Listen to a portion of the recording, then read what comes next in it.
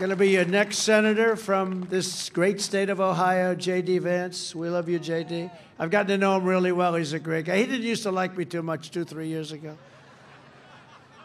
But he likes me now, and I like him.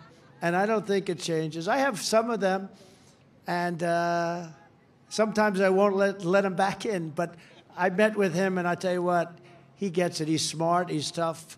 And he was right about a lot of things, a lot of things. JD will fight for Ohio with every bone in his body. As a native of your state who has personally witnessed the pillaging of Ohio jobs and the devastation of Ohio communities, JD knows how important it is to have leaders who put America first and put Ohio first. He wants to put America first. They think that's such a bad thing, so bad. He's a former Marine and a Yale educated lawyer. He's a great student. I spoke to somebody that went to Yale with him. He said he was a great student, so I might as well tell you that. Some people said, oh, don't put it out. It's, he's elite. Well, yeah, he's elite. He's elite in intelligence, and that's what we want, right? Don't we want that?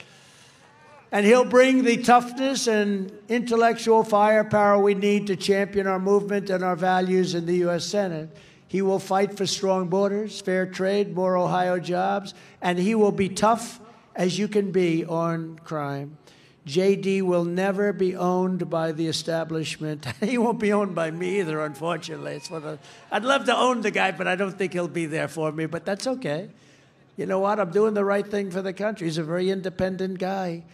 And he'll be an independent senator who is loyal only to the people of Ohio. That's what he loves the people of Ohio. He loves his state.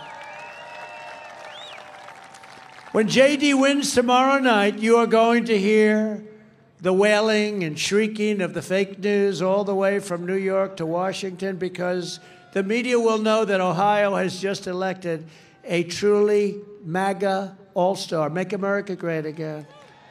He's an all star. And he has been for a long time.